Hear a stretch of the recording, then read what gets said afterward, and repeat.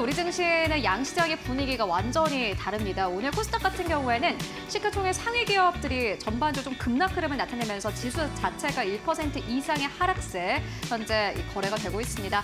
다만 코스피 같은 경우는 강보합권 그대로 유지가 되면서 거래가 되고 있는데 간밤 증시도 그렇고 우리 증시도 그렇고요. 최근에 약간의 상승세를 소화하는 분위기 연출되고 있습니다.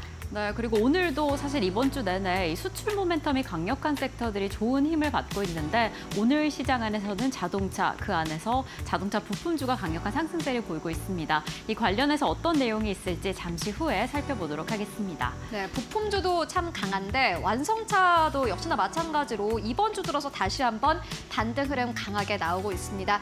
어, 그렇다면 어떠한 기업들 봐야 하는지 먼저 만나보도록 하겠습니다. 어, 유럽연합의 관세 이슈가 있었습니다. 유럽연합이 중국 전기차에 최고 48%의 관세 부과를 예고하고 나섰습니다. 어제부터 관련된 이슈와 종목들 현재 들썩이고 있는 상황인데요. 예, 자세하게 살펴보고 가도록 하겠습니다. 유럽연합은 예, 중국산 전기차의 반보조금 조사에 대해서 잠정 결론을 내렸다라면서 17.4%에서 38.1%포인트의 관세를 추가적으로 어, 매기겠다라고 발표를 했습니다. 지금은 중국에서 유럽연합 쪽으로 자동차를 수출할 때는 10%의 관세가 부과되는데 여기보다 약 17%에서 38%의 추가 관세가 부과가 되는 겁니다. 그러니까 최대로 계산을 해보면 은 10%에 38%를 더한다면 은 48%대까지 관세가 올라가게 되는 건데요. 쉽게 생각을 해보면 은 천만 원 짜리 자동차를 어, 중국에서 유럽으로 만약에 수출을 했다고 치면 은 이 천만 원짜리 자동차가 관세 하나만으로 거의 1,500만 원이 되는 겁니다. 상계 관세율을 기존 관세 추가 적용하겠다라고 발표를 했는데 비아디 같은 경우에는 17.4%포인트 그리고 지리 자동차 같은 경우는 20%포인트 상하이 자동차 같은 경우에는 38.1%포인트의 관세를 부과하겠다라고 유럽 연합 측에서 밝혔습니다. 어, 그리고 사실 중국 전기차 업체들 만의 문제가 아닙니다. 테슬라와 BMW도 영향을 받을 것으로 보인다라는 전망 나오고 있는데요. 중국 공장에서 생산돼서 유럽으로 수출되는 이 테슬라와 BMW에게도 영향이 있을 것이다라는 현재 평가가 나오고 있습니다. 중국은 당연히 반발하고 나섰습니다. 전형적인 보호무역주의 사례다라고 평가를 했는데 유럽연합에서 사실 이러한 결정을 할 법도 한 게 최근 들어서 유럽 쪽으로 계속해서 이 발, 수출되는 이 중국의 전기 자동차가 급증하고 있는 상황입니다. 조금 더 자세하게 만나보실까요? 연도별로 보도록 하겠습니다.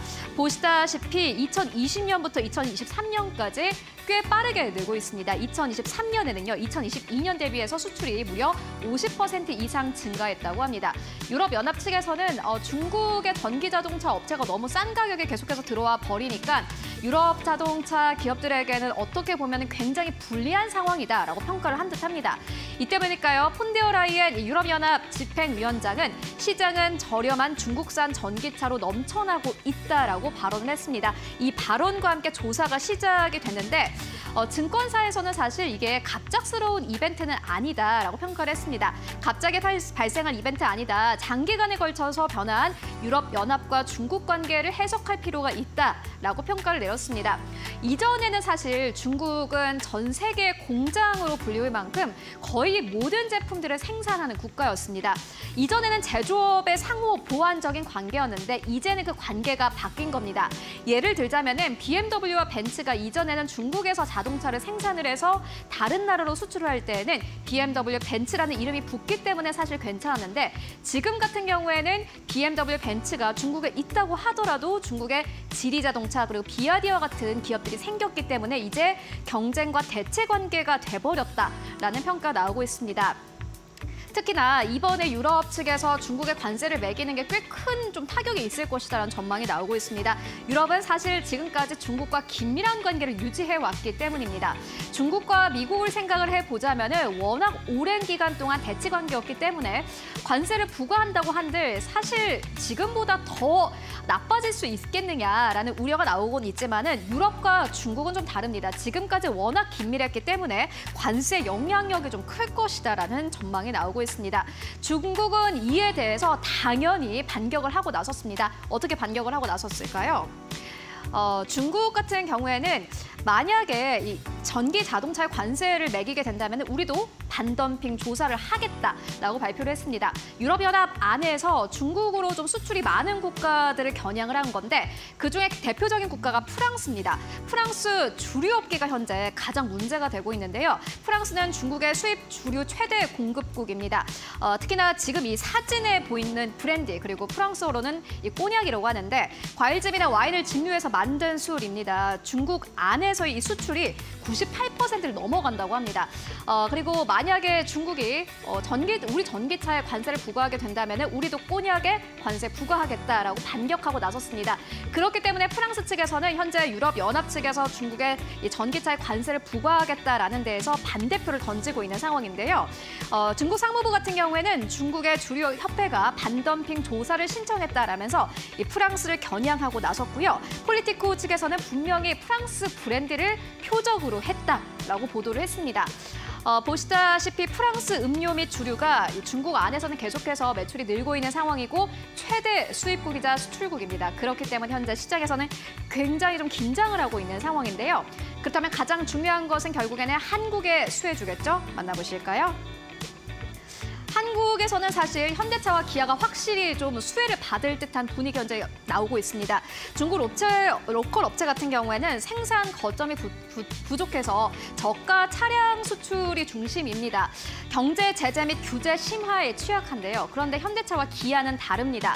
어, 관세와 제재를 고려해, 고려해서 대응 시스템을 선제적으로 구축했기 때문에 사실 이렇게 뭐 중국 쪽 전기차에 관세를 부과한다고 하더라도 현대차와 기아 같은 경우에는 큰 타격은 없을 것이다라는 전망 나오고 있습니다. 특히나 기아가 현재 증권사에서는 꽤 좀 인기를 얻고 있는데요. 기아 EV3 때문입니다. EV3는 사실 다른 전기차 대비해서 가격이 좀 쌉니다. 비아디 등 주요 모델과 유사한 가격대인데요. 보시다시피 가격이 좀 비슷합니다. 이게 EV3의 가격인데 3만 7천 유로입니다. 어, 그리고 MG 상하이 자동차의 산하에 있는 이 브랜드 같은 경우에는 3만 4천 유로 그리고 어, 비아디 같은 경우에도 3만 8천 유로에 관련된 이 자동차를 판매를 하고 있는데 이에 따라서 중국 전기차가 만약에 타격을 받게 된다면 은 가격대가 비슷한 기아 EV3가 수혜를 받을 것이다라는 기대감 나오고 있습니다. 계속해서 현대차와 기아 수출 쪽의 매출이 어느 정도 잡히는지 그리고 주가에는 어느 정도 반영이 될지 함께 살펴보시면 좋을 것 같고요. 그렇다면 부품주는 어떨까요? 이어서 신유정 앵커와 함께 만나보시죠. 네, 이렇게 중국 전기차 시장에 매겨질 관세에 대해서 좀 자세히 이야기 나눠봤습니다. 이 미국에 이어서 유럽연합도 어찌 보면 좀 가혹할 수 있는 수준의 관세를 중국 전기차에게 매기겠다라고 한 건데요. 사실 이렇게 전기차 관세 폭탄, 중국에 매겨질 관세 폭탄 이야기가 나올 때마다 고개를 드는 것은 그렇다면 우리는 어떻게 수혜를 받을 수 있을 것인가, 어느 정도의 반사 수익을 받게 될 것인가 하는 기대감입니다. 이번에도 역시나 고개를 들었고 우리가 수혜를 받을 수 있다라는 기대감도 좀 커. 퍼져 있는 상황입니다. 무엇보다 유럽 시장 안에서 우리는 한국과 EU 간의 자유무역 협정으로 인해서 관세 측면에서 좀 혜택을 받고 있는 게 있습니다. 그래서 이미 우호적인 환경으로 거래를 진행하고 있는 상황이기도 하고 그리고 최근에 현대차 같은 경우를 확인을 해보면 지난해 현대차 매출의 해외 매출의 15% 이상이 유럽 시장이었습니다. 그런데 올해 이미 1분기 상반기 부분에 3% 넘는 증가세를 보이고 있어서 이렇게 우호적인 환경 속에서 그 유럽 시장 안에서 힘도 열심히 열심히 키워가고 있는데 중국이 좀 제재가 걸리게 된다라고 한다면 확실히 우리 힘이 더 커지지 않을까라는 기대감이 긍정적으로 순환이 되고 있습니다. 이러한 흐름 안에서 우리가 이 중국 시장이 가지고 있던 경쟁력을 어느 정도 가지고 올 수 있을지 그 힘을 받아서 우리 완성차 그리고 이 완성차 부품주가 어떻게 흘러가게 될지 좀 자세히 살펴보려고 합니다. 우선 완성차에 대한 이야기를 좀 나눠보겠습니다. 아무래도 1분기 호실적을 기록을 했기 때문에 2분기 호실적에 대한 기대감도 역시나 함께 들어오고 있는 상황인데요. 뭐 대표적인 value 프로그램 수혜주로서 이에 대한 기대감도 있고 아무래도 수출의 대표 수혜주로서 강달러가 들어오게 되면 그 흐름도 좋을 것이다라는 기대감 좀 강력하게 들어와 있는 상황입니다. 이렇게 견조한 실적, 1분기에 보여줬던 탄탄한 실적에 이 주주 환원에 대한 기대감까지 더해지면서 뭐 2분기 성적은 단연 좋지 않을까라는 기대감 다소 강력합니다. 이러한 흐름 덕분인지 이번 주 완성차 주가의 흐름도 좋고요. 사실 1분기 올해의 상황을 살펴보면 현대 현대차가 20% 넘는 주가 상승률을 보였고 기아 같은 경우에는 13, 13.9%대 주가 상승폭을 보였습니다. 이렇게 실적도 좋고 주가의 흐름도 좋고 2분기에 대한 기대감도 다소 탄탄한 상황입니다. 그래서 이렇게 완성차를 살펴볼 때 부품주를 빼놓을 수가 없을 것 같습니다. 사실 완성차와 부품주는 함께 흘러갈 것이다 라는 예측을 했는데 사실 흐름이 그리 좋지 않았습니다. 그 주가상 상승세는 아직 좀 주춤한 상황을 보여서 그렇다면 이 시점에서 오히려 부품주에 주목을 해야 하는 게 아닌가라는 이야기가 많이 나오고 있습니다. 일부 리포트에서도 정기적으로 지금 장기적으로 부품주가 소외되어 있기 때문에 관심을 가지자라는 이야기도 있고 지금 이 시점 re-rating의 초입 부분이다라고 판단을 내리기도 했습니다. 실제로 오늘 시장 안에서 부품주가 좀 크게 상승을 했습니다. 현대모비스 같은 경우에는 3거래일 연속 상승을 하고 있어서 이러한 흐름에 어떻게 이어지게 될지 좀 체크해 보시는 게 중요할 것 같습니다. 사실 이 전기차, 전기차뿐만 아니라 이 부품주의 품질 이슈나 전기차 chasm 때문에 부품주가 좀 주춤하던 상황이었는데 이러한 흐름을 어떻게 좀 극복할 수 있을지 이 악재 이후의 흐름은 어떻게 이어갈지 체크해 보시는 게 좋을 것 같은데요. 아무래도 지금 이 시점에서 자동차 부품주 저 PBR 관련주로서 완성차보다 오히려 매력도가 더 높다, 상승 여력이 높다라고 보는 여론이 많습니다. 이러한 상황 속에서 어떤 부품주를 살펴봐야 한다라고 고민이 좀 되신다면 이 현대차 그룹의 부품을 납품, 납품하거나 이 전기차에 제약이 걸리지 않는 특히나 하이브리드차 관련된 부품을 만드는 관련 수주 가능성이 높은 기업들에 주목하자라는 이야기 나오고 있습니다. 그래서 지금 좀 힘차게 움직일 것이다 라고 예측이 되는 종목들을 가져왔는데 우선 오늘 시장 안에서 이 태양기계와 NGVI가 정말 강력한 상승세를 보이고 있습니다. 20% 가까운 상승세를 보이고 있고 현대모비스 같은 경우에는 최근 계속 이어온 상승세 오늘 14%까지 장중 상승폭 터치하기도 했습니다. 특히나 외국인 투자자의 매수세가 강력한 상황 인데 어떠한 흐름으로 자동차 시장을 이끌어가게 될지 주목하시면 좋을 것 같고요.